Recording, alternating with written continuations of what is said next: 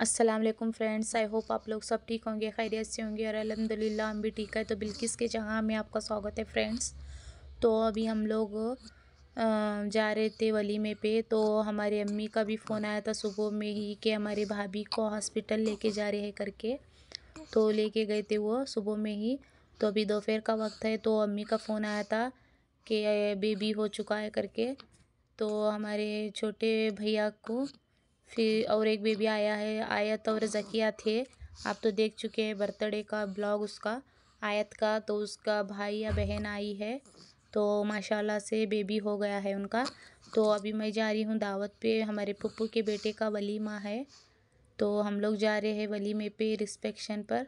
तो चलिए अभी हम लोग वहीं पर चलते हैं। बच्चे भी स्कूल जा चुके हैं। तो दो बच्चे तो स्कूल गए हैं, दो बच्चे तो यहाँ पे है। तो अभी उनको लेके हम लोग जाएँगे। घर दावत में सॉरी दावत को जाएँगे और हस्बैंड साहब हॉस्पिटल गए थे, अम्मी को मिलकर, भैया को मिलकर आए हैं। केमशी गए थे क्योंकि केमशी में ही हुआ है बेबी बस उनके लिए दुआ करे, वो तंदुरुस्त हो जाए जल्द से जल्द। तो अभी वो भी ठीक है, आराम है। अभी मैं भी जाने वाली थी तो अभी बाहर रूम में शिफ्ट नहीं करे है, बोल रहे थे अम्मी। तो बहुत ज़्यादा टाइम भी हुआ है तो बेबी मेरा भी बहुत छोटा है तो इसलिए अभी मैं नहीं जा सकती। देखती हूँ, कल टाइम मिला तो कल जाऊँगी इन क्योंकि अभी शाम में जाना अच्छी बात नहीं है बेबी को लेके तो इसलिए मैं नहीं जा रही हॉस्पिटल कल होगा तो मैं जाऊँगी इन शाला वहाँ पे ब्लॉग भी बनाऊँगी थोड़ा सा शॉर्ट तो बस उन बेबी के लिए और उनके अम्मी के लिए दुआ करें, जल्द से जल्द आराम हो और तंदुरुस्त हो।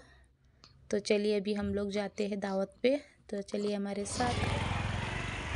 तो फ्रेंड्स ये हमारे घर पास का ही हॉल है अंजुमन हॉल छोटा और बड़ा दो हॉल है यहाँ पे।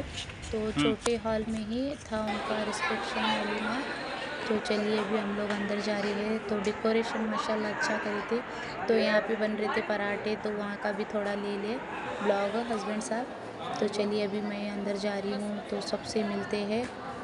तो मैं यहाँ पे ज़्यादा ब्लॉग नहीं बना पा रही हूँ फ्रेंड्स तो फ्रेंड्स हम लोग आ गए वली में से रिस्पेक्शन से तो मुझे बहुत ज़्यादा भूख लग रही थी और बेबी भी बहुत रो रहा था तो उसको फीडिंग कराने का था तो इसलिए मैं घर वापस आ गई।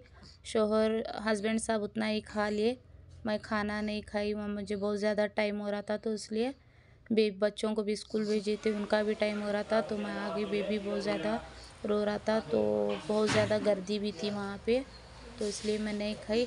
तो हस्बैंड साहब होटल से बिरयानी लाए थे तो वही मैं खा रही थी। आइए फ्रेंड्स खाते हैं।